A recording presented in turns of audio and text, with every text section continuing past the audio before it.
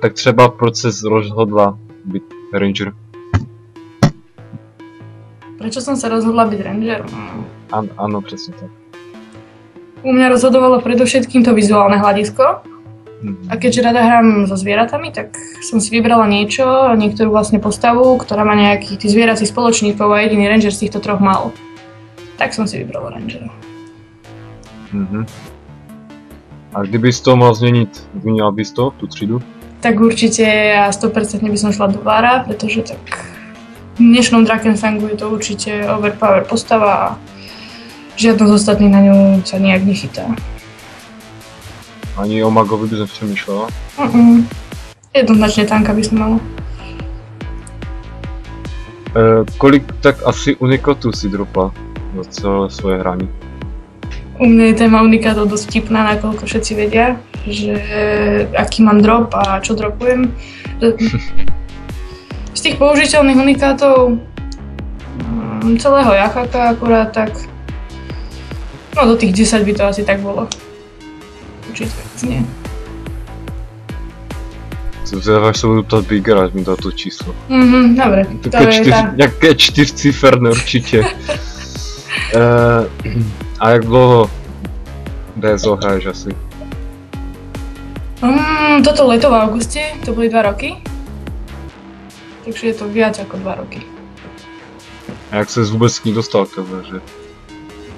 To si pamätám, ako keby to bolo včera. Ne?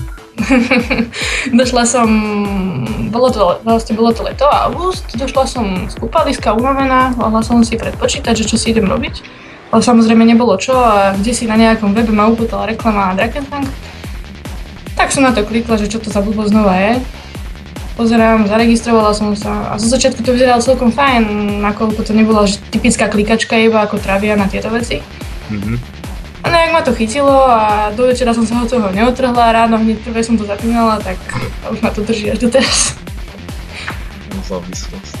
Ty hraješ radši se skupinou nebo sama? Ja som typický skupinový hráč, čo, sama keby to mám hrať, ani to nehrám popravde, pretože pre mňa je táto hra hlavne o kamarátoch, Mhm. aby som sa zabavila, pokecala PvP? trocha, jasné, PvPčko, no ja duelovať nie som, to poviem na rovinu, ja duely hrať neviem, môj počítač mi to nedovoluje, lagy mám také, aké mám, grafiku mám otrasnú, takže u mňa jedine skupinové veci ako sú lajky, skupina proti skupine, čiže beriem 6. Jo, kdybys měla, dejme tomu 10-20 milionů temných, co by si změnila? Neviem, nakúpila by som určite nejaké kamene, dorobenie divo do dokonalosti. Mm. A zvyšok by som minula, neviem, asi na esky, do, do lotérie a takéto tieto drobnosti. V prípade by som dokúpila tie ostatné zvieratá, čo mi chýbajú a tak ďalej. A, takže a baví tě to interview? Mm. Dá sa povedať, že aj hej, celkom je smiešno, tak sa to dá. Co jsi měl dneska na oběd? Vieš čo, ja vstávam tak každý deň okolo druhej, jednej, no takže obec som ešte nemala, iba nejaký ten koláčik, pohár mlieka a tak ďalej.